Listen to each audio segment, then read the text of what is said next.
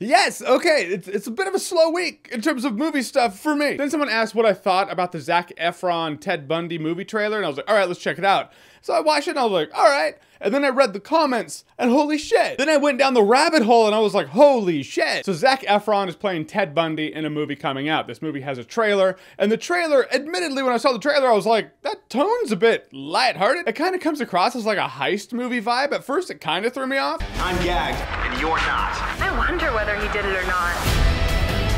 I'm more popular than Disney World. And if that was all people had a problem with, that would be the conversation. Like, oh, the tone's a little weird, but I guess we'll just check it out when the movie comes out. We'll see for sure. It's probably Ted Bundy's portrayal in the trailer as well as the tone that mixes into it. But the outrage is that they're glorifying Ted Bundy and his serial killings of women. Ted Bundy, as he's portrayed in the trailer, comes across as a likable, charismatic dude. Some tweeters, some with some pretty large followings, were like, oh, the wink, they're sexualizing Ted Bundy, the wink. like, that's that's Ted Bundy. How do you think he had the opportunity to kill all those women? You think he was some socially awkward asshole hanging out in Mama Fratelli's basement eating baby Ruths? No. I mean, the guy acted as his own representation in his trial. Like, this is the narcissism we're dealing with here. He was his own lawyer. You want a lawyer who's better than you? Nope, I'll do it myself. I'm that good. So I have no doubt he'd fucking wink at somebody in the courtroom. And if he didn't actually, literally wink at someone in the courtroom, it's a portrayal to illustrate a point. It's a portrayal to illustrate the mindset. I don't know, I just, I agree. You want to accurately portray Ted Bundy for the monster he was, and that's what they're doing. They're accurately portraying him as a charming, charismatic asshole whose charm and charisma allotted him the opportunity to be a monster. In fact, this outrage just makes me look forward to it more because it's like you so accurately represented Ted Bundy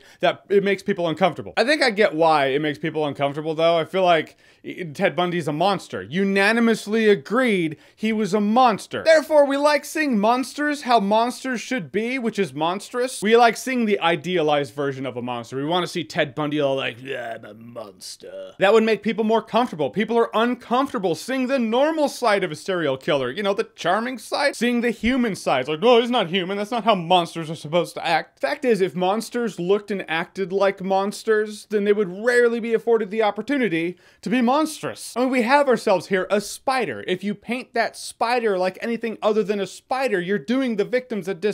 This particular spider was generally likable. You have to show that. It might make some people uncomfortable, but it's a reality. Now, granted, the tone of the trailer threw me off at first. I was like, oh, that was a lighthearted tone for this. In fact, it kind of had a Tarantino movie trailer vibe to it, which is also another interesting conversation because Quentin Tarantino is doing the movie Once Upon a Time in Hollywood, which is about the Manson murder. So when that trailer comes out, if it has a Tarantino-esque tone to it, is it gonna get the same kind of backlash? So now I'm interested to see what happens when Once Upon a Time in Hollywood comes out. But in a world, in the world of all this outrage culture, I just feel like feelings supersede facts. Accurately representing something only matters if it doesn't offend people, and if it offends people, you can't accurately represent something or someone. I don't know, just in terms of being accurate or being loved, I'd rather be accurate. It's a pretty slippery slope if you fudge history for the sake of feelings. I think it's bullshit and outrage that comes from people not understanding how Ted Bundy was able to be what we know as Ted Bundy, which is the serial killer who killed a lot of women. He got it from being this dude. He didn't get it from being this dude. I don't know, that's my rant on the subject, and that's your video for today. My thoughts on the world and stupid shit in it. But the new Ted Bundy trailer, have you seen it? What did you think about it? What do you think of the portrayal of Ted Bundy? And the tone of the trailer in general? Whatever you think, comment below, let me know. And as always, if you like what you've seen here and you want to see more, click right here to see more.